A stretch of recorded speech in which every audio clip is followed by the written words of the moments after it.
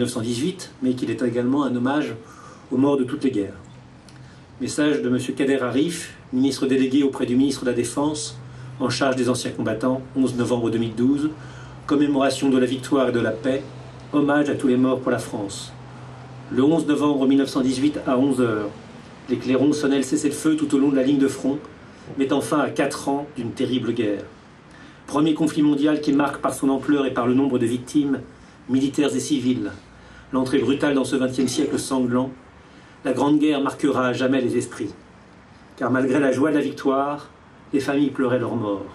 Une hécatombe venait de se produire et bientôt chacun ressentirait l'impérieuse nécessité que la nation tout entière, pour se reconstruire, reconnaisse son malheur et s'y associe.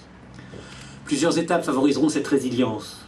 L'inhumation sous l'Arc de Triomphe, le 28 janvier 1921, du corps d'un soldat inconnu pour symboliser tous les morts de la Grande Guerre. Le vote par le Parlement, il y a eu 90 ans cette année, le 24 octobre 1922, d'une loi fixant au 11 novembre la commémoration de la victoire et de la paix. L'allumage par André Maginot, ministre de la Guerre et des Pensions, le 11 novembre 1923, d'une flamme sur la tombe du soldat inconnu, qui depuis lors ne s'est jamais éteinte. La réalisation de monuments aux morts dans presque toutes les communes pour porter les noms de leurs enfants morts pour la France, auxquels s'ajouteront ultérieurement ceux des victimes des autres conflits.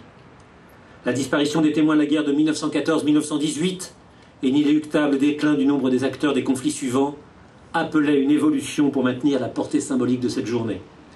C'est le sens de la loi du 28 février 2012 qui élargit la portée du 11 novembre à l'ensemble des morts pour la France, tout en conservant les autres journées nationales commémoratives. C'est donc la reconnaissance du pays tout entier à l'égard de l'ensemble des morts pour la France, tombés pendant et depuis la Grande Guerre, qui s'exprime aujourd'hui, particulièrement envers les derniers d'entre eux, ceux qui ont laissé leur vie en Afghanistan. Elle s'inscrit dans une politique commémorative ambitieuse qui vise à transmettre la mémoire, à favoriser la compréhension de notre histoire nationale commune et son appropriation par les jeunes générations. Les parlementaires du début des années 20 avaient voulu que la journée nationale du 11 novembre soit placée sous le double signe de la victoire et de la paix. Ce dernier but semblait alors bien aléatoire, comme allaient le démontrer les décennies suivantes. Mais finalement, ces parlementaires étaient des précurseurs. En votant la loi instituant une journée de la victoire et de la paix, ils espéraient que soit célébrée dans l'avenir une journée de la victoire et de la paix. Le temps et la volonté des peuples leur ont donné raison. Kader Arif, ministre délégué auprès du ministre de la Défense, en charge des anciens combattants.